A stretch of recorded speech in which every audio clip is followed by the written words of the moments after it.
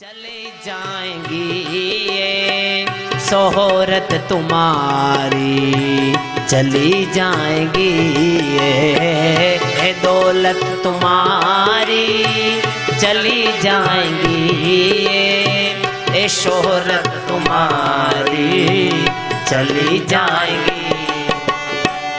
झुकाना पड़ेगा झुकाना पड़ेगा। शर भी तुम्हारा नहीं चाहिए दुखाना किसी का नहीं चाहिए दिल। दुखाना किसी का। सदा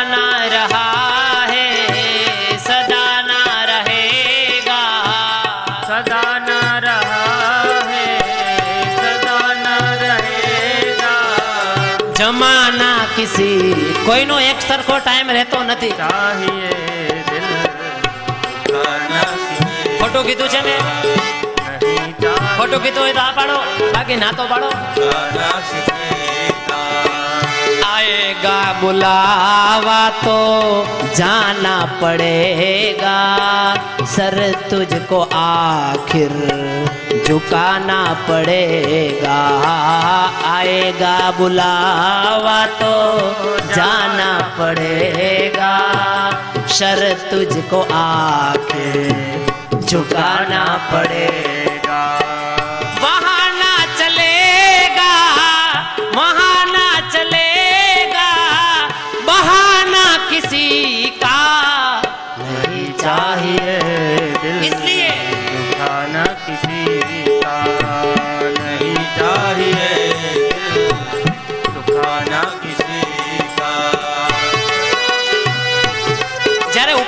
ઉનાળું आवसे ने।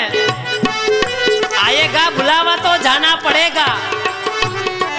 वहाँ किसी का चला ही नहीं है तो मेरा आया आपका क्यों चलेगा? इसलिए, मौको कहा ढूंढे रे बंदे?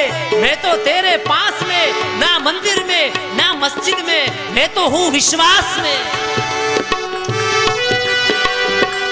आपने क्या ना क्या गोतवा जाए। तीर्थ फरिए, गंगा मा जाए। कबीर के छे, मोको कहाँ ढूंढे रे बंदे? मैं तो तेरे पास में, ना काबा में, ना मस्जिद में, मैं तो तेरे विश्वास में।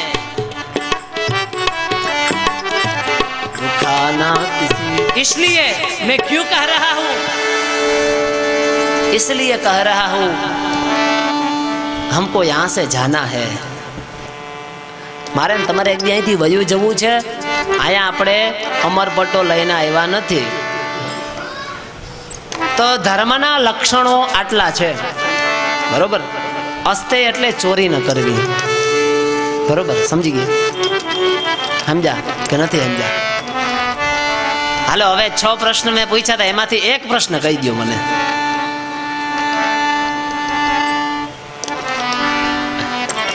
છ પ્રશ્ન પેલા સુદજી મહારાજે શૌનકજીએ પૂછ્યા. એ છ પ્રશ્ન મને એકાદો તો કયો? એટલે તો આઈ હોપ મને આશા છે તમે કહેશો. એક દાદા સિવાય એને બધો ખ્યાલ છે એ ન કે બાકી બધા તમે છૂટા. મેં છ પ્રશ્ન કીધા, મેં તમને કીધું તો, હું પૂછીશ, યાદ રહ્યું ખરું કઈ?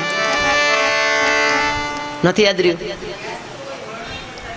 હવે એમને તમારી, તમારે, તમે જેમ, તમને યાદ હોય એમ બોલી જાઓ, વર્ણન ક્યાં કરવું છે મારે? તમને યાદ નથી ના પાડી મને. નથી યાદ, બરોબર? હવે જુઓ, તમે કોઈને ત્યાં લગ્ન પ્રસંગમાં જાઓ, વધાવું કરતા હોય, ત્યારે કદાચ આપણા દીકરાએ બસો લખ્યા હોય આપતો હોય આપણને હો આપ્યા હતા યાદ છે? એમાં એવું છે કે આપણે જે યાદ રાખવાનું છે એ યાદ નથી રાખતા જે નથી રાખવાનું ને યાદ રાખીએ છીએ. છ માંથી એક પ્રશ્ન તો ગયો. કોક તો હિંમત કરો, એમાં કાંઈ ન થઈ જાય. પણ તમે કહી દો ને. તમે જ કહી દો ને બેન. કલ્યાણ કેમ થાય? છ પ્રશ્નો છે. કલ્યાણ કેમ થાય? ધર્મ કોને કહેવાય? ભગવાન જ્યારે અવતાર ધારણ કરે, ત્યારે ધર્મ કોના શરણે જાય? ભગવાન અવતાર લે કઈ કઈ લીલા કરે? આ બધા પ્રશ્ન છે. પ્રશ્ન જ મને તમને કૃષ્ણ સુધી લઈ જશે. હા, બરોબર છે. તમે ગમે તમે બધા સ્વતંત્ર છો, તમે કહી શકો. હું પૂછું ત્યારે, એમાં કઈ શરમાવાય નહીં, ચિંતા ન કરાય. તમને તમારી જેવી વાણી હોય, હે એમ કહી દેશો તમે. આનાથી એ થશે કે તમે આજે બોલશો તો કાલ તમને આ ભાગવત ખોલીને જોવાની ઈચ્છા થશે. માટે હું વારે ઘડીએ તમને કહું છું, આનું બીજું કંઈ કારણ નથી. આજે તમે આવા કંઈક પ્રશ્ન કરશો, આજે ખાલી બોલવા ખાતર જો બોલશો તમે, તો કાલ સવારે એમ થશે કે પ્રશ્નનો જવાબ શું? લાવને ખોલવા દે ને આ. અને કદાચ એકવાર આને ખોલી લેશો ને, તો હું ગેરંટી આપું છું કે તમારા જીવનના એકય પ્રશ્ન નહીં હોય. તમારા જીવનના એકોય પ્રશ્ન નહીં હોય કે જેનો જવાબ આમાં નહીં હોય. તો છ પ્રશ્ન કીધા ને એના ઉત્તરમાં શ્રી સુતજી મહારાજ કહે છે કે માણસનું કલ્યાણ કેમ થાય કે ધર્મનું આચરણ કરે? ધર્મ કેવો તો કે નિષ્કપટ પરમ ધર્મ ને નિષ્કામ ધર્મ? નિષ્કામ એટલે કે કોઈ પણ પ્રકારની અપેક્ષા વિના. હું ને તમે ભગવાનનું ભજન કરીએ છીએ, પણ બે ક્વોલિટીથી કરીએ છીએ. કાં આપણને બીક છે અને કાં આપણને લોભ છે? હે? છોકરાની પરીક્ષા આવતી હોય ત્યારે એ ઘણીવાર મારી પાસે આવે કે, દાદા, જ્યોતિષ જોઈ દો ને. મેં કીધું, ભણવામાં ધ્યાન રાખ, એમાં જ્યોતિષ ન હાલે. જ્યોતિષ સાચું જ છે, સો સો ટકા. પણ એ વિદ્યાર્થી આમાં પાસ થાય કે નહીં થાય એ એમાં ન આવે. એમાં તો એને એને, એમાં હનુમાનજી કામ ન લાગે. એમાં એને હરખું ભણવું પડે. હોવાર હનુમાન ચાલીસા કરે ને પછી ડિક્શનરી કે બુક્સ કે કંઈ હાથમાં જ ન લે, તો એ ત્યાં કંઈ થોડોક પાસ થવાનો છે. એના માટે તેને વાંચવું પડે. કહેવાનો આશય એ છે કે ધર્મ એને કહેવાય. કે તમે નિષ્કામ ધર્મ, નિષ્કામ. ભાગવતજીની અંદર કીધું કે તમે નિષ્કામ ધર્મની ઉપાસના કરો. અને ધર્મ કેવો હોવો જોઈએ? ભગવાનની તમે સેવા કરો, ભગવાનની પૂજા કરો. મોટા ભાગના માણસો ભગવાનની પૂજા એટલા માટે કરતા હોય કે એને કાંઈક મળી જાય. મારું આ થઈ જાય મારું આ થઈ જાય મારું આ થઈ જાય, પણ નહીં. એલા, ઓલા ઓલા લાઈટ આપણે બારીએ છીએ. લાઈટનો યુઝ કરીએ છીએ. એ લોકો આપણને બિલ મોકલે ને. મહિને મોકલી દે, બે મહિને મોકલી દે. ન ભરો તો.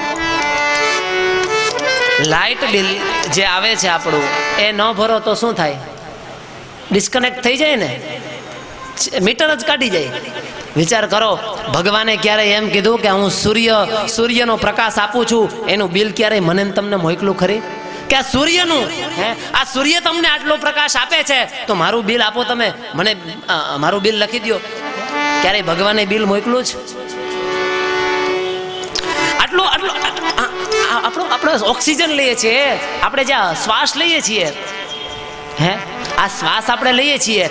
હવે ઓક્સિજનની ખબર ક્યારે પડે? ખબર? જ્યારે ડોક્ટર દવાખાનાની અંદર હોય, ડોક્ટરના દવાખાનામાં હોય ને, ઓલો ડોક્ટર કે ને, ઓક્સિજનનો બાટલો તો કે હજાર રૂપિયા. હે? ઓક્સિજનના હજાર રૂપિયા? તો કે, હા. ઓક્સિજનના બાટલાના હજાર રૂપિયા દેવા પડે ત્યારે એમ થાય કે આટલા બધા થોડા હોય. પણ આપણને આ ભગવાન હાવ મફતમાં આ હવા આપે છે, આ પાણી આપે છે. આ નગરપાલિકા વાળા આપણી આગળ પાણીનું બિલ લઈ લેશે વેરા માટે. ભગવાને ક્યારેય તમને કીધું ખરે કે લાવ, આટલું આટલું પાણી વરસાવું છું, મારી પૂજા કર, મારો યજ્ઞ કર? નહીં. કારણ કે સાહેબ આપણને પ્રેમ કરે છે. ઈશ્વર અંશ જીવ અવિનાશી. હું ને તમે પરમાત્માના અંશ છીએ. ભગવાન આપણી પાસેથી ક્યારેય બિલ માંગતો માંગતો જ નથી. આટલી આટલી વસ્તુ આપણને આપે છે. આપણને પ્રકાશ આપે છે. આપણને પાણી આપે છે. આપણને પવન આપે છે. રહેવા માટે ભૂમિ આપે છે. છતાંય આપણે કેવા છીએ કે આપણે ભગવાનની પાસે વારંવાર માગીએ છીએ. હે માતાજી, મારું આ કામ થઈ જાય ને તો તને હું શ્રીફળ ધરીશ. મારી ચાવી ખોવાઈ ગઈ માતાજી, તમે ચાવી ગોતી દો દીવો કરીશ. એટલે આપણી ચાવી માતાજીને ગોતવાની એક દીવા હતું. હે? દીવા હાટું ચાવી હાટું માતાજીને ધંધે લગાડવાના. અરે તાળું તોડી નાખ ને બીજું તાળું લગાડી દે. ધર્મની પાસે કોઈ અપેક્ષા ન રાખો. નિષ્કામ તમે જેની ઉપાસના કરતા હોય. હું કોઈનું એવું નથી કહેતો. તમે માતાજીની આરાધના કરો. તમે શિવજીને ભજો. તમે કૃષ્ણને ભજો. તમે જેને ભજતા હોય, એની નિષ્કામ ભાવથી પૂજા કરો. પણ આપણું તો લિસ્ટ જ એવું હોય ને કે ભગવાન એમ કે આ ક્યાં આયા આવ્યો હવે જો, તમારી પાસે તમારો પોતાનો, બીજાનો નહીં. તમારો દીકરો તમારી પાસે આજે સો રૂપિયા માગશે, તમે આપશો. બે દિવસ પછી માગશે, આપશો. પણ દરરોજ ને દરરોજ સો સો રૂપિયા માગશે તો પછી દસમા દિવસે તમે કહેજો, હવે હાલતો થા, દરરોજ ન હોય.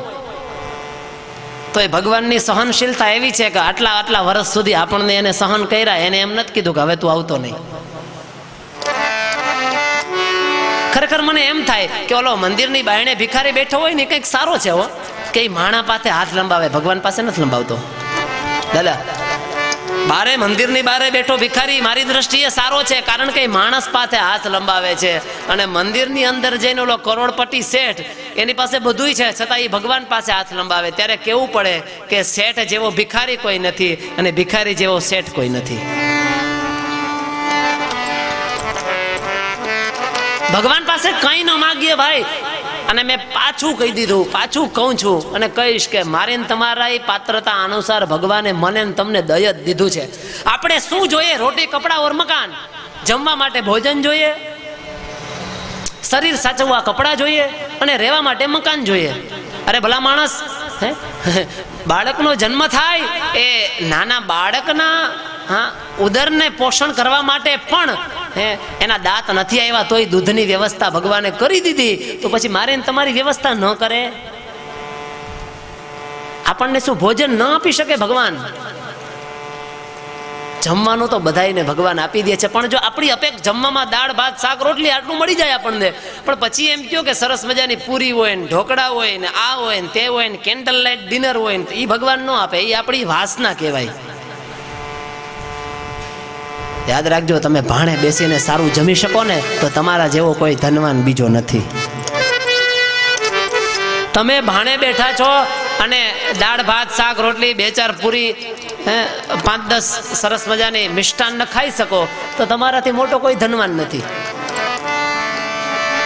અરે સાહેબ, મેં એવા એવા વ્યક્તિઓ જોયા કે એની પાસે બધું છે, પણ જમવા બેસે એટલે ખાખરો ચા. મેં કીધું, એટલે અમે એક બહુ સારા મારા મિત્ર જ છે અને બહુ સારી ઊંચી પોસ્ટ ઉપર છે. એમને ત્યાં અમે ગયા, યજ્ઞ હતો. અને અમે જમવા બેઠા, એ પણ આરે બેઠા. તો એને, એની થાળીને અમારી થાળીમાં જોયું. અમારી થાળીમાં દરેક જાતના પકવાન ઇત્યાદિ હતું મિષ્ઠાન હતું. એમની થાળીમાં જોયું તો ઘી ચોપડા વિનાની રોટલી હતી અને કારેલાનું શાક હતું. એટલે મેં કીધું કે સાહેબ, તમે કેમ આમ? તો કે ડૉક્ટરની મનાઈ છે, ડાયાબિટીસ છે. પચાસ સાઠ જેટલું એંસી જેટલું બીપી છે. અને થોડોક હૃદયનો રોગ થોડોક થઈ ગયો છે. થોડોક જ વધારે નહીં. એટલે ડૉક્ટરે ખાવાની મનાઈ કરી છે. એટલે ત્યારે મેં મારી જાતને કીધું કે તું આ વ્યવસ્થિત જમી શકસ ને, તો તારાથી મોટો ધનવાન બીજો કોઈ છે જ નહીં. તમે ભાણે બેહીને સારામાં સારું જમી શકો. એનાથી વિશેષ તમે શું જોઈ બીજું? રોટી. જમવા માટેનું દ્રવ્ય. રહેવા માટેનું મકાન પણ ભગવાન આપે છે. પછી આપણે એમ કંઈક ડ્રોઈંગ રૂમ અલગ હોય ને ગેસ્ટ રૂમ અલગ હોય ને અરે ભાઈ આપણે જુઓ આપણું કેટલું છે. આપણે આપણું ઘરમાં આપણે દાદા જેટલા સૂઈએ છીએ આપણે સુવામાં જેટલી જગ્યા છે ને એટલી જ આપણા હકની છે બાકી બધી જ વસ્તુ અણહકની છે. એ, મારી ને તમારી અનુસાર ભગવાને આપણને નાનકડું મકાન દીધું હોય તો રાજી રહ્યો મોજમાં રહ્યો પ્રસન્નતાથી રહ્યો. આ વારે ઘડીએ ન્યા જ આવવું પડે એનું કારણ એ છે કે આ જગતમાં માણસને જે મળ્યું છે ને, હે, એની કદર નથી, એની વેલ્યુસ નથી. તમને જે મળ્યું છે એનો આનંદ કરો. કહેવાનું તાત્પર્ય છે. કપડાં. કપડાં પ્રભુએ સ્તન તન ઢાંકવા તન ઢાંકવા માટે કપડાં આપણને આપ્યા જ છે. પણ મર્યાદા બહારની કઈ પણ વસ્તુ આપણે જો આપણા જીવનમાં લાવીએ, તો પછી આપણું અધહ પતન છે. યાદ રાખજો, સીતાજી જ્યારે લક્ષ્મણ રેખા ઓળેંગા ત્યારે જ રાવણની તાકાત વધી. પણ જો એ સીતાજી પોતાની લક્ષ્મણની દોરેલી રેખા, લક્ષ્મણ રેખા મર્યાદાને ઓળેંગા ન હોત, તો રાવણના બાપની તાકાત નથી કે સીતાજીનો હાથ અડાડી શકે સાહેબ, મર્યાદા હોવી જોઈએ. મર્યાદા બારે જાય છે ને આ બધું એટલા બધી તકલીફ છે. ને એમાં આપણે તો ખાસ.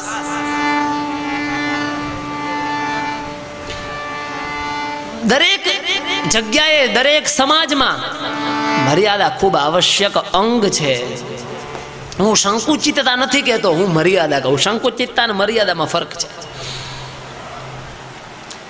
પછી વસ્ત્ર પહેરવાની પણ મર્યાદા હોઈ શકે. વિચારોની પણ મર્યાદા હોઈ શકે. વિચાર, વાણી અને વર્તન. આની પણ એક મર્યાદા હોઈ શકે. કારણ કે અત્યારનો માણસ એ માણસ નથી, રાક્ષસ છે. હેવાન બહેનો છે. તમે કદાચ મને ટેવ છે, હું. ખોટું નહીં બોલું. જે છે હું કહી દઉં તમને. ટીવી જોતા હોય તો એમાં સોની ઉપર ક્રાઇમ પેટ્રોલ આવે છે આમાંથી કદાચ તો જોતા હોય તો. કદાચ જોતા હોય તો. જો છો કોઈ આમાંથી? જો છે. હા. બહુ ન જોવાય હો. ટીવી નો જોવાય બહુ. એની અંદર એવા એવા કિસ્સાઓ આવે. આપણને એમ થઈ જાય ખરેખર આ હું મારે ઘડીએ એકને એક મથામણ લઈને બેઠો છું એટલા માટે ઓલું ખૂંચી ગયું છે કે ભલા માણસ આ માણસ માણસ નથી રહ્યો. એવા એવા ભયંકર કાંડ કરે છે આ માણસ. કે આપણને એમ થઈ જાય આના કરતાં તો ઓલા રાક્ષસ હારા હતા. આટલી હદ સુધી નીચે પડી જાય છે માણસ. એ પણ મેં માર્ક કર્યું કે જ્યારે માણસના જીવનનું અધપતન થાય છે ને અજયભાઈ, ત્યારે એ પોતાની મર્યાદાને ઓળંગી જાય છે, ત્યારે જ એનું અધપતન થાય છે. એટલે મર્યાદામાં રહેવું. કે છે, નિષ્કામ ધર્મની ઉપાસના કરો તમે. ભગવાનની નિષ્કામ સેવા કરો. કઈ માગો નહીં. કઈ અપેક્ષા ન રાખો ભગવાનની પાસે તમે. અને એ ભક્તિ કેવી હોવી જોઈએ? અહૈતુક્ય પ્રતિહતા યયાત્મા સંપ્રસિદ્ધતી ભગવાનની ભક્તિ અહૈતુકી હોવી જોઈએ, હેતુ વિનાની. અને પછી કેવી? યયાત્મા સંપ્રસિદ્ધતી અને પાછી કેવી? અહૈતુકી તો બરોબર, પણ સતત હોવી જોઈએ. ગંગાનો જેમ પ્રવાહ છે, એમ તમારા, તમે તમારા ઈષ્ટદેવની સતત ભક્તિ કરતા રહ્યો તો શું થશે? ભગવાનની અહૈતુકી તમે ભક્તિ કરશો સવે પુંસામ પરો ધર્મ યતો ભક્તિ રદોક્ષજૈ અહેતુક્ય પ્રતિહતા યયાત્મા સંપ્રસીદતી વાસુદેવે ભગવતી ભક્તિ યોગ પ્રયોજિત જનેત્યાશો વૈરાગ્યમ જ્ઞાનંચ યદહેતુકમ તમે જ્યારે ભગવાનની અહેતુકી ભક્તિ કરતા હશો ત્યારે તમારામાં જ્ઞાન ઉત્પન્ન થશે અને વૈરાગ્ય ઉત્પન્ન થશે જ્ઞાન એટલે શું ને વૈરાગ્ય એટલે શું અને ભક્તિ એટલે શું? આમને સમજ પડે. સામાન્ય દ્રષ્ટાંત આપી દઉં. ભક્તિ એટલે પ્રેમ. ભક્તિ એટલે પ્રેમ. એક માણસને પોતાનાથી નાની વયના વ્યક્તિમાં જો પ્રેમ હોય, જો જો જો વાત્સલ્ય હોય, આપણને આપણા બાળકોમાં વાત્સલ્ય છે, શું છે? એ પ્રેમ છે. પોતાના સમાની વ્યક્તિમાં જો પ્રેમ હોય, એને આપણે આદર કહીએ છીએ. અને એ જ પ્રેમ જ્યારે ભગવાનમાં કન્વર્ટ થઈ જાય, આપણે એને ભક્તિ કહીએ છીએ. ભક્તિ એટલે બીજું કાંઈ નહીં, પ્રેમ. તમારા બાળકને તમે જે પ્રેમ કરો છો, બાળકને જે વાત્સલ્યતાથી જમાડો છો, રમાડો છો, એને ખવડાવો છો, પીવડાવો છો, તમારા સમાન જે છે હેત. પતિ પત્નીમાં હેત હોઈ શકે. હેતનું બીજું નામ પ્રેમ. અને તમારાથી મોટી વ્યક્તિની અંદર જે હોય, એને આપણે આદર કહીએ છીએ. આદર પણ એ પ્રેમ છે. તમારે તમારા બાના પ્રત્યે અહોભાવ હોવો, તમારા પિતા પ્રત્યે પૂજ્ય ભાવ હોવો, એ પણ એક પ્રેમ છે. અને આ જ પ્રેમ આ જ ક્વોલિટી જો ભગવાન તરફ વળી જાય, તો આ ભક્તિ થઈ જાય. ભક્ત ભક્તિ એટલે કઈ મોટી વાત નથી. ભક્તિ એટલે પ્રેમ. અને મેં આગળ જ કહી દીધું કે કૃષ્ણ પૂર્ણ પુરુષોત્તમ તો દૂરની વાત છે. કૃષ્ણ પ્રેમ પુરુષોત્તમ છે. કૃષ્ણને પ્રેમ કરો. એ પ્રેમનો દેવતા છે સાહેબ. કૃષ્ણને પ્રેમ. જગતને પ્રેમ કરશો, તો તમને ઠોકર મારશે મારશે અને મારશે. પણ મારા ઠાકોરને પ્રેમ કરજો, તો ક્યારેય તમને ઠોકર નહીં ખાવા દે. કહે છે, જ્યારે તમારા જીવનમાં નિષ્કામ એટલે કે કોઈ પણ હેતુ વિનાની ભક્તિ ભગવાનમાં હશે, પ્રવીણભાઈ, ત્યારે શું થશે? તો કોઈ તમારામાં ભક્તિ આવશે. ભક્તિ એટલે પ્રેમ. અને પ્રેમ થશે તો જ્ઞાન અને વૈરાગ્ય આવશે. જ્ઞાન એટલે શું? જ્ઞાન એટલે, જ્ઞાનનો અર્થ એ થાય જે નથી કરવા જેવું એ ન કરવું જે કરવા જેવું છે એ કરવું, એનું નામ જ્ઞાન. આપણે બધાય જ્ઞાની જ છીએ હો. કોઈ અજ્ઞાની નથી. આપણે બધાય જ્ઞાની છીએ. આપણને ખબર છે આ ન કરાય, છતાંય કરીએ. એ અજ્ઞાન. મહાભારતના દાદા બે પાત્રો છે. એક યુધિષ્ઠિર ને બીજો દુર્યોધન. ગુરુ દ્રોણે બોલાવ્યા બેને દુર્યોધનને કીધું કે, તને આ હસ્તિનાપુરમાંથી જા તું. હસ્તિનાપુરમાંથી દુર્યોધનને કીધું, એક સારો માણસ ગોતતો આવ. યુધિષ્ઠિરને કીધું, તું હસ્તિનાપુરમાંથી ખરાબ માણસ ગોતતો આવ. માણસના વિચાર કેવા હોય, આ હું કહું છું તમને. દુર્યોધનને કીધું કે, તું આ આ જગતમાંથી આ, આ- હસ્તિનાપુરમાંથી સારો માણસ ગોતતો આવ. અને યુધિષ્ઠિરને કીધું તું આ હસ્તિનાપુરમાંથી ખરાબ માણસ ગોતતો આવ. તમે માનશો ને બે જણા ખાલી હાથે આવ્યા. બે જણા ખાલી હાથે આવ્યા. દુર્યોધનને કીધું કે તને કોઈ સારો માણસ ન મળ્યો? દુર્યોધન કે, મને તો બધાય પાખંડી જ લાગ્યા આખા હસ્તિનાપુરમાં કોઈ સારો માણસ નથી. એમ યુધિષ્ઠિરને કીધું, તને કોઈ ખરાબ ન લાગ્યો? કીધું, મહારાજ, આ જગતમાં કોઈ ખરાબ જ નથી. બધાય સારા છે. એટલે જ આપણે કહીએ છીએ, જેને જેવી દ્રષ્ટિ, એની એવી સૃષ્ટિ. બસ તમે તમારું આચરણ સુધારી લ્યો, જગત ખરાબ છે તો એ ભલે ખરાબ રહ્યું. આનું નામ જ્ઞાન.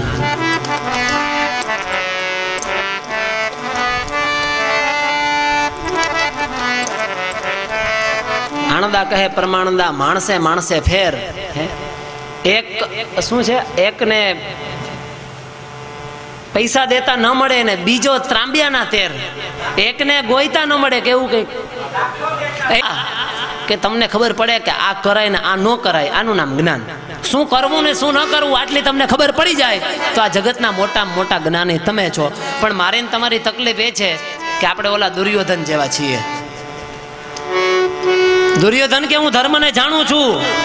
ધર્મની મને બરોબર ખબર છે, પણ હું, મારું મન છે ને અધર્મ તરફ ગતિ કરે છે. ધર્મમ જાનાતી, નચમે નિવૃત્તિ. ધર્મમ જાનાતી, નચમે પ્રવૃત્તિ. અધર્મમ જાનાતી, નચમે નિવૃત્તિ. હું ધર્મ જાણું છું, છતાં એમાં પ્રવૃત્ત નથી થઈ શકતો. અને હું અધર્મ જાણું છું, છતાં એને મૂકી શકતો નથી. તો હું કરવું ને હું ન કરવું? એનું નામ જ્ઞાન. બરોબર? ભક્તિ એટલે ભક્તિ એટલે પ્રેમ. હજી બધાને શરમ લાગે છે, ખબર નહીં હું શરમ હોય. કઈ વાંધો નહીં, હવે નહીં પૂછું, બસ. જ્ઞાન એટલે શું કરવું ને શું ન કરવું, આ જ્ઞાન. અને વૈરાગ્ય એટલે વૈરાગ્ય એટલે કે જે કામનું નથી એ છૂટી જાય. હવે જુઓ, તમે સવારે કદાચ પુષ્ટિ માર્ગના અનુસરતા હોય તો તમે સેવા કરતા હોય, માતાજીને માનતા હોય તમે માળા કરતા હોય. અને ત્યારે કોઈ આવે તમારી પાસે કે ભાઈ આજે આપણે ફિલ્મ જોવા જવું છે, તમે આવશો એટલે શું કહેશો? અત્યારે જા, અત્યારે તો ક્યાં ફિલ્મની વાત કરે માળા કરવા દે. આ તમારો વૈરાગ્ય છે. આ શબ્દ બધાય મોટા લાગે, પણ પણ એને તમે જુઓ, એને વિચારો. ભક્તિ એટલે પ્રેમ, જ્ઞાન એટલે શું કરવું ને શું ન કરવું? અને વૈરાગ્ય એટલે કે નકામી વસ્તુ છૂટી જાય. એનું નામ વૈરાગ્ય. જ્યારે તમારા જીવનમાં ભગવાનની નિષ્કામ ભક્તિ હશે, ત્યારે તમને સાચો પ્રેમ કોણ આપશે? આ જગતમાં સાચો પ્રેમ આપણને આપણા ઈષ્ટ, આપણા ભગવાન, આપણા ઈષ્ટ દેવતા સિવાય કોઈ નહીં આપી શકે. બીજું, તમારા ઈશ્વરની કૃપાથી, તમે જે માનો છો, એની કૃપાથી તમારા જીવનની અંદર જે નકામું છે એ નીકળી જશે અને જે જરૂરી છે તમને મળી જશે, એ જ્ઞાન ને નકામું નીકળી જાય એ વૈરાગ્ય.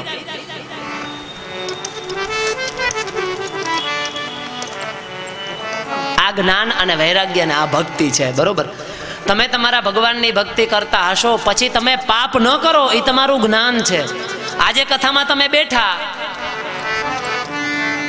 તમારી સામે કોઈ ભિખારી મળે, તમે એને કંઈક જમવાનું લઈ દીધું આ તમારું અહીંયા બેઠા, આ પ્રેમ આપે છે, આ દેવતા, પ્રેમનો દેવતા છે. આ તમને પ્રેમ આપે છે. એ ભક્તિ તમારી ભક્તિના કનેક્શનના કારણે તમે બેઠા છો અને તમે કોઈને કંઈ આપશો, એ તમારું જ્ઞાન છે.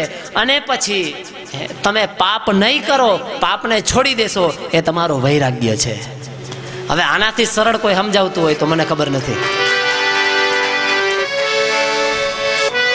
હવે હાવ હાવ એટલે હાવ આમ આપણે જ્યાં છીએ ત્યાંથી મેં વાત કરી દીધી તમને. આને ધર્મ કહેવાય. તો કે છે,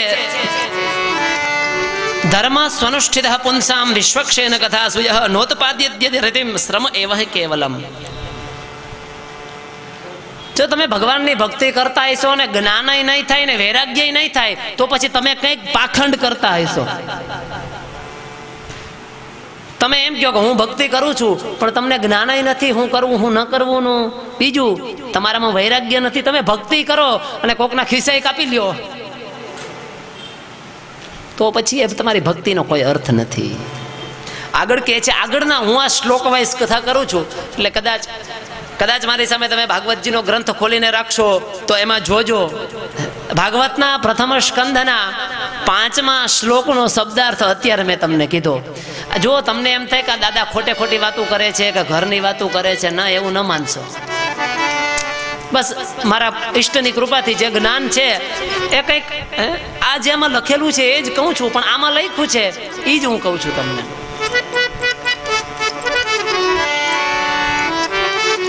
તમે યજ્ઞ કરો, તમે ધર્મ કરો, તમે જે કંઈ પણ કરો, પણ આટલું કરવા છતાં પણ જો તમારી ભગવાનની કથામાં પ્રીતિ નહીં હોય, તો પછી તમારું બધું કરેલું છે એ ફોગટ જશે.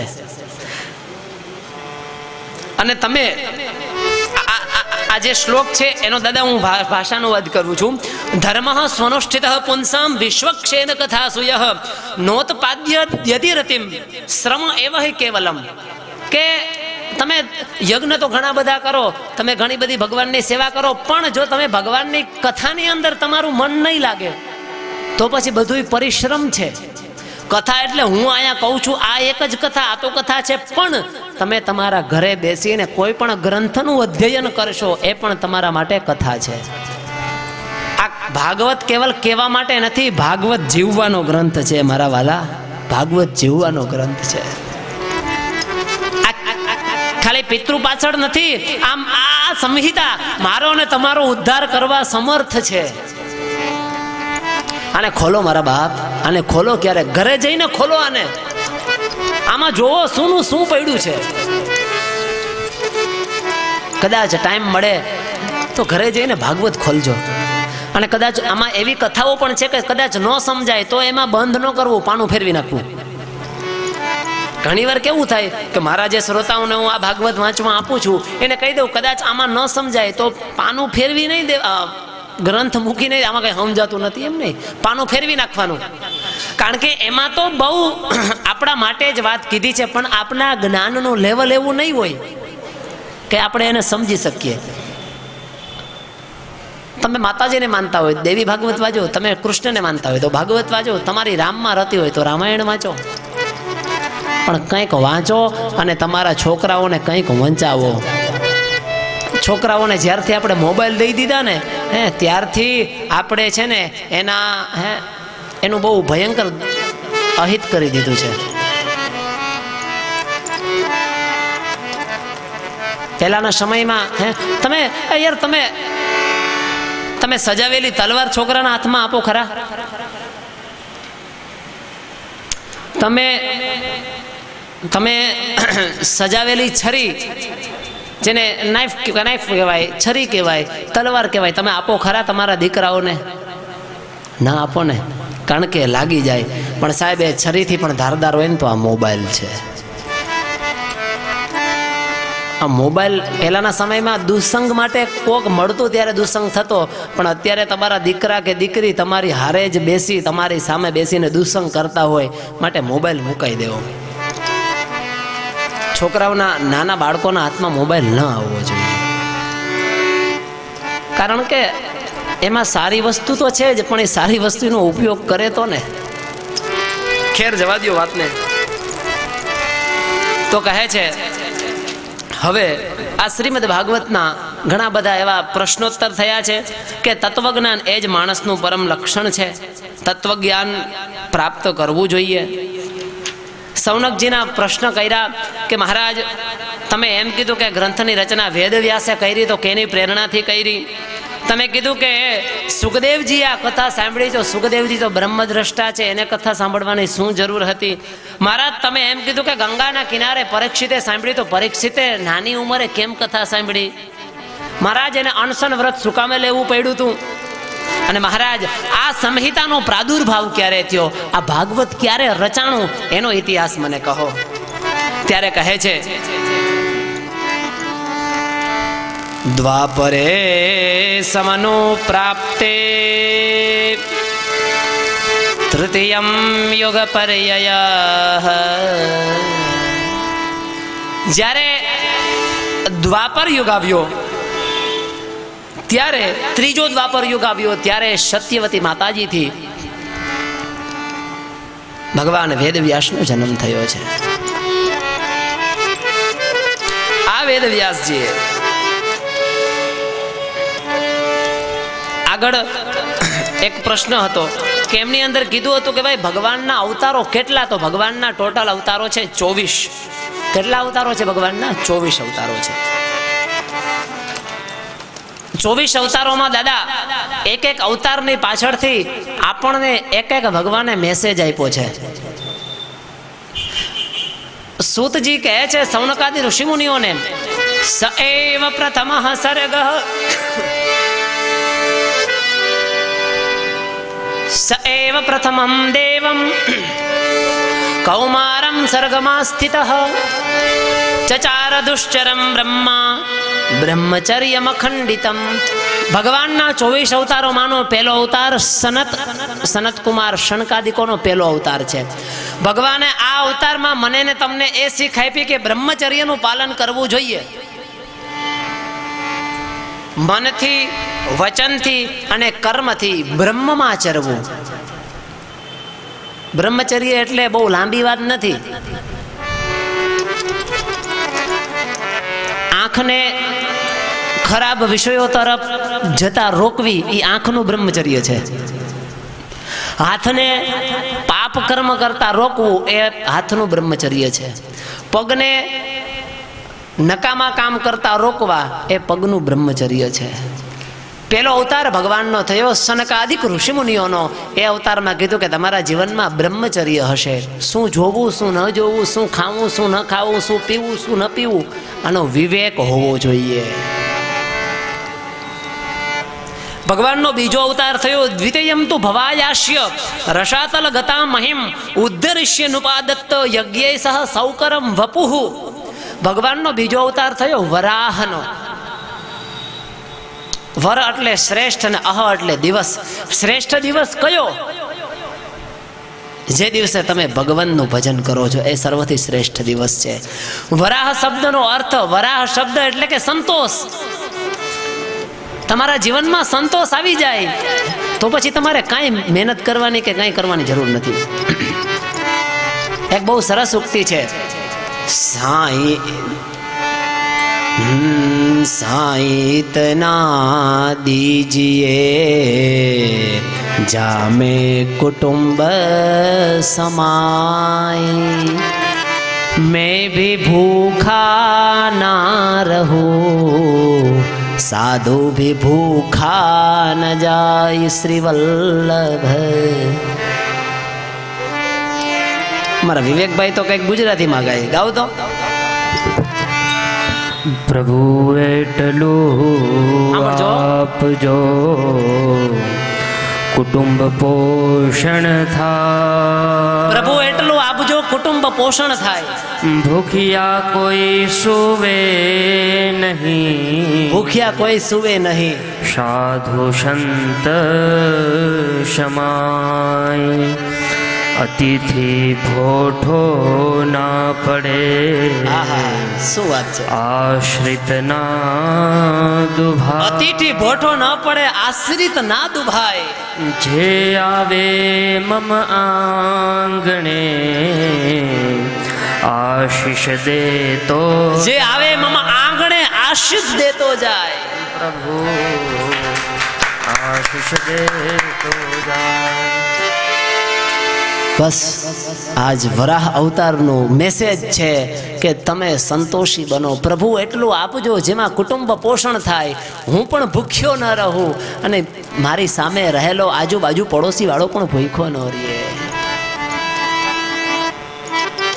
ભગવાનનો ત્રીજો અવતાર. તૃતીયમ ઋષુસર્ગમ ચ દેવર્ષિત્વમ ઉપૈત્ય સહ. તંત્રમ સાત્વતમાચષ્ટમ. નૈષ્કર્મ્યમ કર્મણામ યતઃ. ત્રીજો અવતાર નારદનો છે. તમારું આચરણ પવિત્ર રાખો. નારદનો મેસેજ એ છે. તમારા જીવનમાં તમે બહુ મોટા સાધુ કહેવાઓ પણ જો તમારા જીવનમાં વ્યભિચાર હશે, તમે બહુ જગતની દ્રષ્ટિએ મોટા સંત થઈ જાઓ, મહારાજ થઈ જાઓ. તમારા પગ પૂજવા માંડે, તમને હાર પહેરાવા માંડે, પણ જો તોય તમારા જીવનમાં કામ હશે, ક્રોધ હશે, વ્યભિચાર હશે.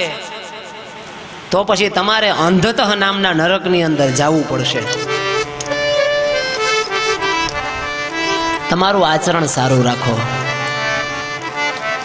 ભગવાનની દ્રષ્ટિ ક્યાં છે? આચરણમાં. આપણું આચરણ સારું હોવું જોઈએ. નારદનો મેસેજ એ છે. ચોથો અવતાર, તુર્ય ધર્મ કલા સર્ગે નરનારાયણ ઋષિ ભૂતવાત મોપેશદ દુશ્ચરમ તપઃ. ભૂતવાત મોપશ તદ દુશ્ચરમ તપહ ચોથા અવતારમાં નર ને નારાયણનો અવતાર થયો છે મને તમને મેસેજ આપે છે કે હે માણસ હે મનુષ્ય તું તપ કર કુંભાર જ્યારે નિંભાડાની અંદર ઓલા ઘડાને નાખે ને એટલે તપાવે છે ઓલો ઓલો માટી છે ને કુંભારને કે, એલા એલા, કુંભાર તું આટલું બધું તું મને હેરાન કરસ, ખોદી આવ્યો મને ખૂંદી મને ચકેડે ચડાવી મને અંદરથી આમ આમ ટપટપાવ્યો હવે હવે આમાં અંદર તો નાખમાં આમાં મને ધગધગાયમાં મને આગમાં તો નાખી દેમાં ત્યારે કુંભાર શું કહે છે ખબર? તું એકવાર આ સહન કરી લે, પછી પછી આખી જિંદગી તને ઠંડક જ મળવાની છે. તમે કુંભારને ત્યાં માટલું લેવા જાઓ, હે?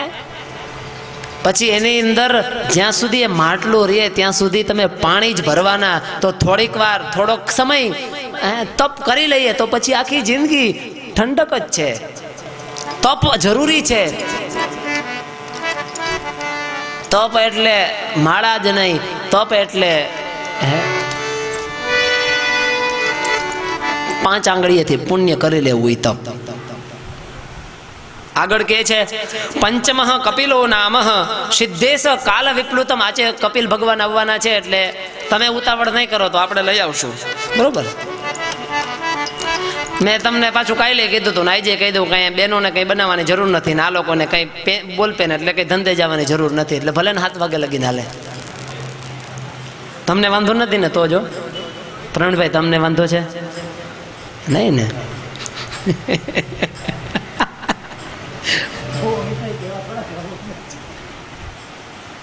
પણ ચિંતા ન કરતા આજે કપિલ ભગવાન. આમાં એવું છે કે હું તો નિર્ણય કરીને જાઉં કે આજે કપિલ ભગવાન આવી જશે. પણ અહીંયા આવ્યા પછી કંઈ નક્કી ન રહે.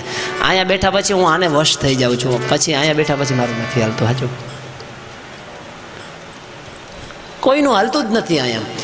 એટલે ભગવાન કપિલ આવશે, પણ થોડીક તમે શાંતિ જાળો છો તો આવી જશે. બરાબર? તો કીધું છે, પાંચમું કપિલ, પંચમ કપિલ નામ સિદ્ધેશ કાલ વિપ્લુતમ પ્રોવાચા સુરે સાંખ્યમ તત્વગામન વિનિર્ણયમ. પાંચમા અવતારમાં સાંખ્ય શાસ્ત્રનો ઉપદેશ કરવા માટે ભગવાન કપિલ પધાર્યા છે. સાંખ્ય સાંખ્ય શબ્દનો સંખ્યા સંખ્યા શબ્દનો અર્થ કે કોઈ પણ રીતે તમે કોઈની સાથે ગણતરી ન કરો, ગણતરી બાજ ન બનો. એને બસ, એને આપણા છોકરાને લગ્નમાં એકાવન આપ્યા હતા. આપણે એકાવન રહે, પણ એ ઓગણીસો ને નેવ્યાસી હતું એટલે એકાવન હાલતા હતા. અત્યારે બસો એકાવન કરો? ગોર બાપા, આપણે ત્યાં સત્યનારાયણની કથામાં આવ્યા હતા. આપણે એને અગિયાર રૂપિયા જ દેવા જોઈએ. અરે, મારા વાલા એ ઓગણીસો પંચાણું હતી. ત્યારે અગિયાર રૂપિયામાં ઘણું બધું તેલનો ડબ્બો આવી જતો. અત્યારે પાંચસો આપ. કપિલ ભગવાન કહે છે, તમે? જેવું કાર્ય હોય, એની તમે એ રીતે એને બિરદાવો. છઠ્ઠો અવતાર, ષષ્ઠે અત્રે રપત્વત્વમ, વૃત પ્રાપ્તો ન શૂનયા આનવિક્ષિકી મલાર્ક્ય, પ્રહલાદ દિવ્ય ઊંચીવાન. છઠ્ઠો અવતાર, ભગવાન દત્ત મહારાજનો છે. અરે દત્ત મહારાજે તો, હે, ચોવીસ ગુરુ બનાવ્યા. દત્ત મહારાજ એ મેસેજ આપે છે, તમારો જન્મ થાય ને મરણ સુધી વિદ્યાર્થી તરીકે જીવન જીવો હા, અમે અહીંયા બોલીએ છીએ ને, આમાં અમે કેટલાને સાંભળ્યા હોય, કેટલાને સાંભળ્યા હોય, કેટલાનું ભેગું કર્યું હોય. અને હું તો આખી જિંદગી સુધી સ્વીકારું છું, હું તો વિદ્યાર્થી જ રહેવાનો છું. મને તો તમે વિચાર નહીં કરો. હું તો પાંચ વર્ષનો બાળક કંઈ સારું કામ કરતો હોય ને તો હું એ શીખી લઉં. એક વખત એક ભાઈ ત્યાં ગયો તો પાંચ વર્ષનો છોકરો સરસ મજાનું મૃદંગ વગાડતો હતો. એટલે મને એમ થયું કે આમાંથી આપણે શીખવું જોઈએ. આ જગતની અંદર નકામી વસ્તુ કંઈ પણ નથી, પણ એ તમે વસ્તુને જોવાનો અભિગમ હોવો જોઈએ તમારામાં. દત્તાત્રેયજીએ ચોવીસ ગુરુ બનાવ્યા હતા, હે? દત્તાત્રેયજીનો મેસેજ એ છે કે તમે આજીવન વિદ્યાર્થી તરીકે રહ્યો, ગુરુ બની જશો ને, હે? ગુરુ બની જશો ને, પછી ત્યાં પછી ત્યાં બધું બ્લોક બ્લોકેટ થઈ જશે બધું. તમે વિદ્યાર્થી રહ્યો, આજીવન વિદ્યાર્થી રહ્યો. સાતમા અવતારમાં આકૃતિથી અને રુચિ ઋષિથી યજ્ઞ અવતાર ભગવાન પ્રગટ થયા. નિત્ય યજ્ઞ કરો. યજ્ઞ એટલે અગ્નિ અંદર અગ્નિની અંદર હોમીએ એ તો એ પણ યજ્ઞ છે. હવે શાસ્ત્ર સંમત વાત કહું છું. અન્નાદ ભવતી ભૂતાની. પર્જન્યાદ અન્ન સંભવ, ગીતાજી કહે છે. આપણને અન્ન મળે છે કેનાથી મળે છે? તો કે વરસાદથી મળે છે. આ વરસાદ તો કે યજ્ઞ કરવાથી વરસાદ થાય છે. યજ્ઞ એટલે તમે જે સ્વાહા સ્વાહા કરો, એ પણ એક યજ્ઞ છે. તમે જ્યારે અગ્નિની અંદર કંઈ પણ વસ્તુ પધરાવો ને, તમે નહીં માનો, ગૂગલની ઉપર હું મારા ખીચાની વાત નથી કરતો. ગૂગલ ઉપર તમે સર્ચ કરજો. એક ચોખ્ખું ગાયનું ઘી તમે યજ્ઞકુંડની અંદર હોમો છો, ત્યારે એની અંદરથી એક ટન એક ઓઝોન નામનો વાયુ નીકળે છે. અને એ વાયુ આપણા ઘરના વાતાવરણને પવિત્ર બનાવે છે. આ ઝાડવાના પાન ને આસોપાલવના પાનને રાખવાનું વિજ્ઞાન ને ધર્મ બંને એક સિક્કાની બે બાજુ છે. આ આસોપાલવના પાન, આ વનસ્પતિ, આ રાખવાનું કારણ શું કામ? આપણા વૈજ્ઞા, આપણા ઋષિઓ પણ મોટા વૈજ્ઞાનિક છે. આ સાત દિવસ સુધી કેળના થાંભલા શું કામ રાખવાના? સારું લાગે એટલે? નહીં. આંબાનું પાન, આસોપાલવનું તોરણ. તમે વનસ્પતિ વિજ્ઞાન જાણો ને, તો એની અંદર આવે કે આસોપાલવ, આંબો, આ કેળ એવી વનસ્પતિ છે કે એને તમે તોડી લ્યો પછી પણ સતત પાંચથી સાત દિવસ સુધી એની અંદરથી એની જે ઓક્સિજન એની અંદર રહેલો છે, એ નીકળે છે, નીકળે જ રાખે છે, નીકળે જ રાખે છે. એને તોડી લીધા પછી પણ હવે આપણા ઋષિમુનિઓએ વિચાર્યું હતું કે જ્યારે પાંચ, દસ, સો, સવાસો કે બસો કે પાંચસો માણસ ભેગા થશે, ત્યારે શું થશે? તો કે ભાઈ ઓક્સિજન લેશે, ભેગો એનો ઉચ્છ્વાસ, કાર્બન ડાયોક્સાઇડ પણ નીકળશે. એનું શું? તો કે આ વનસ્પતિઓ છે ને, આ, આ- ઝાડવા છે, આ ઝાડવા અહીંયા હશે, તો એનું પણ શોષણ થશે અને એ માણસને નવી એક ઊર્જા મળશે. આપણે અહીંયા ચંદન કરીએ, અહીંયા તિલક કરીએ, શું કામે આપણું અહીંયા આજ્ઞા ચક્ર છે. આજ્ઞા ચક્ર ઉપર તિલક કરો, ચાંદલો કરો, તમારું મન એક જગ્યાએ કેન્દ્રિત થઈ જાય, સ્થિર થઈ જાય અને સ્થિર મનથી તમે ધંધો કરો. એમાં પણ સફળ થાવ સ્થિર મનથી તમે રસોઈ બનાવો. તમે મારી વાત યાદ રાખજો, તમારે શાકમાં ક્યારેય વધારે મીઠું નહીં પડે. સ્થિર મનથી, હે? પણ ઓલી બાજુ સિરિયલ આલું હોય, ચાલુ હોય ને, આ બાજુ તમે શાક બનાવશો તો પછી ડખા થાય એટલે સ્થિર મનથી કરવું ટૂંકમાં. આગના ચક્રની પૂજા એટલે સ્થિર મન રાખવું. અગ્નિની અંદર જે તમે જવ, તલ, હોમો છો, એનાથી એક પોઝિટિવિટી પોઝિટિવિટી નીકળે છે, કંઈક સારા વેવ્સ નીકળે છે કે જે વાતાવરણની અંદર રહેલી અશુદ્ધિને દૂર કરે છે. તમે જે અગરબત્તી કરો છો, તમે જે ગુગળના બધા ધૂપ કરો છો, આનાથી નેગેટિવિટી ખરાબ. આ જો પૃથ્વીમાં પોઝિટિવિટી પણ છે નેગેટિવિટી પણ છે, સારા વિચાર. હવે તમે જો તમે નબળા વિચાર કરશો ને, તો એની, એના એક સ્પંદનો છે, એની એક એની એક આભા છે, નબળા વિચાર કરે એની.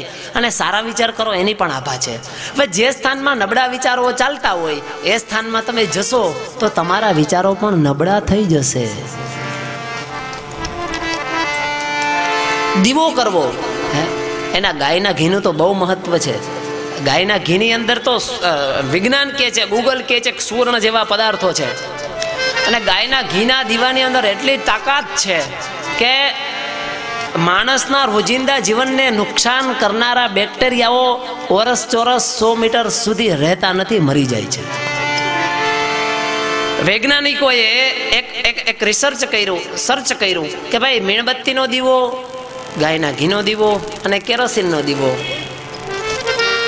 આમાં ફર્ક શું? કેરોસીનનો દીવો કર્યો. તો ત્યાં જોયું કે માણસના રોજિંદા જીવનને નુકસાન કરવાવાળા બેક્ટેરિયાઓ છે. મીણબત્તી કરી. માણસના રોજિંદા જીવનને નુકસાન કરવાવાળા દ્રવ્યો છે. પણ જ્યાં ગાયના ઘીનો દીવો રૂમની અંદર હતો, ત્યાં જઈ એને માર્ક કર્યો. પોતાના યંત્ર દ્વારા એને જોયું ઓરસ ચોરસ સો મીટર સુધી માણસના રોજિંદા જીવનને નુકસાન કરવાવાળા બેક્ટેરિયાઓ જે હતા એ મરી ગયા હતા. એટલા માટે આપણા શાસ્ત્રમાં ગાયના ઘીના દીવાનું મહત્વ છે. તમે ત્રાંબાના કલશામાં પાણી, શું કામે પાણીની પૂજા કરીએ સાહેબ? હવે એ કાલે કહીશ, કાલ માટે રાખો થોડું. તો આવી રીતે ભગવાનના ચોવીસ અવતાર થયા છે. ચોવીસ અવતારની અંદર આઠમાં મેરુદેવીથી વૃષભદેવ ભગવાન થયા. હવે હાથ સુધીના મેસેજ કીધા. કારણ કે આઠમાંથી તો આના ચોવીસે ચોવીસના મેસેજ છે. પણ એ પછી કેવા બેસવું તો હજી ઘણું બધું બાકી છે. પંથ તો જાજો બધો છે હજી આપણે ચાલુ નથી કર્યું હાલવાનું. ભગવાન પૃથુ મહારાજ નવતા નવમા અવતારે પ્રગટ થયા. દસમા અવતારે મત્સ્ય નારાયણ પ્રગટ થયા. અગિયારમા અવતારે ભગવાન કુર્મ નારાયણ પ્રગટ થયા. બારમા અવતારે ધન્વંતરી ભગવાન પ્રગટ થયા. તેરમા અવતારે ઋષિ ભગવાન, ચૌદમા અવતારે ભગવાન, પંદરમા અવતારે વામન ભગવાન, સોળમા અવતારે ત્રિસપ્તકૃત્વા કુપિતો નિક્ષેત્રયા મયી પરશુરામનો અવતાર, સત્તરમા અવતારમાં સત્યવતીથી પરાશર ઋષિ, અઢારમા અવતાર સમુદ્ર મંથન સમયે હરિ અવતાર થયો. એ ઓગણીસમાં અને વીસમા અવતારમાં ભગવાન રામ પ્રગટ થયા અને એકવીસમા અવતારમાં કે છે, ભગવાનના સ્થૂલ અવતાર થયા છે, ભગવાનના સૂક્ષ્મ અવતાર થયા છે. આમ શાસ્ત્રમાં બાવીસ અવતાર કીધા, પણ બે અવતાર સૂક્ષ્મ અવતાર, હયગ્રીવ અવતાર ને હંસ અવતાર. ત્યારબાદ બુદ્ધ અવતાર, છેલ્લો અવતાર થયો બુદ્ધનો હવે પછીનો થશે એ કલી. સાહેબ, આપણા આ ધર્મશાસ્ત્રોનો વિશ્વાસ તો જુઓ, કહી દીધું કે કલી ક્યાં થશે? ભગવાન કલકી ક્યાં પ્રગટ થશે? ઉત્તર પ્રદેશમાં સંભલપુર નામના ગામમાં વિષ્ણુ યશ નામના બ્રાહ્મણને ત્યાં સાક્ષાત ભગવાન કલી પ્રગટ થશે. આનાથી વિશેષ ક્યાં તમારી શ્રદ્ધાને જોડી શકો તમે? આવી રીતે ચોવીસ અવતાર થયા. ઋષિઓએ પ્રશ્ન કર્યો, મહારાજ, આ ચોવીસ અવતારો તો થયા, પણ તમે આગળ અમને કીધું કે ભાગવતનું, તમે એવું કીધું કે આ ભાગવતની રચના વ્યાસે કઈ રીતે કરી? તો કહે છે કે, દ્વાપરે સમનો પ્રાપ્તે, તૃતયે યુગ પર્યયે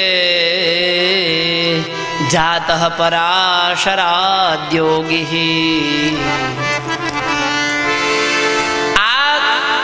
જગતના ત્રીજા દ્વાપર યુગના અંતમાં ભગવાન વ્યાસે આ શ્રીમદ ભાગવતની રચના કરી. કીધું કે બાપજી, વ્યાસે તો ઘણું બધું બનાવ્યું, હે? છતાં પણ એને આ રચના સુકામે કરવી પડી ને તમે એને એવું કીધું કે વ્યાસે આ બધું કર્યું તો એના પુત્ર સુખદેવને ભણાવ્યું. સુખદેવજી તો ત્યાગી હતા, એને આ સુકામ ભણ્યું? અને અને સાંભળવા વાળા પરીક્ષિત તો નાના હતા. તો આ પરીક્ષિતે શું કામે સાંભળીએ મને કહો? ત્યારે શ્રી સૂતજી મહારાજ કહે છે કે સૌનકાદી ઋષિમુનિઓ, એક વખતે વ્યાસજી મહારાજ પોતાના આશ્રમની અંદર ખિન્ન મનથી બેઠા હોય.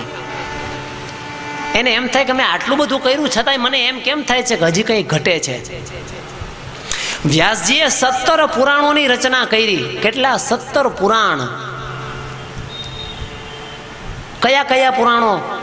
સૌપ્રથમ વ્યાસે બ્રહ્મ પુરાણ બનાવ્યું ચૌદ હજાર શ્લોકો નાખ્યા. પદ્મ પુરાણ બનાવ્યું પંચાવન હજાર શ્લોકો નાખ્યા. વિષ્ણુ પુરાણ બનાવ્યું ત્રેવીસ હજાર શ્લોકો ટાંકા શિવ પુરાણ બનાવ્યું ચોવીસ હજાર શ્લોકો બનાવી એની અંદર પધરાવ્યા. નારદ પુરાણ બનાવ્યું પચીસ હજાર શ્લોકો પધરાવ્યા. માર્કંડેય પુરાણ અગ્નિ પુરાણ ભવિષ્ય પુરાણ બ્રહ્મ વૈવર્ત પુરાણ લિંગ પુરાણ વામન પુરાણ સ્કંદ પુરાણ કુર્મ પુરાણ મત્સ્ય પુરાણ, ગરુડ પુરાણ અને બ્રહ્માંડ પુરાણ. આવી રીતે સત્તર પુરાણો બનાવ્યા. આ સત્તર પુરાણના શ્લોકની સંખ્યા ચાર લાખ ત્રણ હજાર અને છસો. વાલ્મીકી રામાયણ બની. રામાયણના જે વાલ્મીકી રામાયણમાં મંત્ર છે ચોવીસ હજાર. મહાભારત એક લાખ એક લાખ શ્લોક છે મહાભારતમાં. આટલા આટલા પુરાણો બનાવ્યા, વ્યાસે. છતાંય શાંતિ નથી. કંઈક ખૂટે છે, કંઈક ખૂટે છે હજી હાડું ખિન્ન મનથી બેઠા હોય છે અને ત્યાં નારદજી પધારે છે. નારાયણ નારાયણ, હરિ ઓમ નમો નારાયણ. ભગવાનનું નામ સ્મરણ કરે છે. સ્વર આપો.